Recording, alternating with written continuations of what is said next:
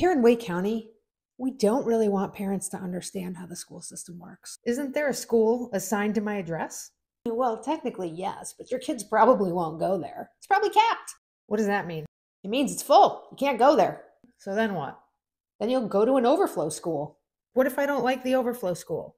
Well, you can always apply to a different school, like a magnet school. What is a magnet school? They all have a particular theme, like leadership or STEM or global studies. They're awesome. We'll just do that. You might not get in, though.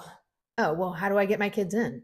It's a lottery, you know. So it's just totally based on luck?